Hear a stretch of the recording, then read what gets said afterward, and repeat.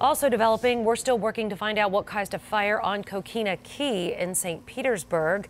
This happened on Menhaden Drive Southeast early Friday evening. St. Pete Fire Rescue tells us that crews saw heavy smoke and flames coming from a carport attached to the home. Now, they say that fire, the flames were reaching more than 30 feet high, and it even started a large tree on fire in the backyard.